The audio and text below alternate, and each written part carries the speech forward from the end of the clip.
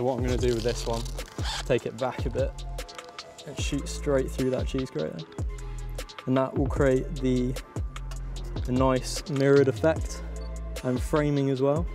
That looks quite nice already, although I'm thinking that the lights reflecting inside it might just add a bit more colour and interest. So this is starting to look quite nice with the reflection in there.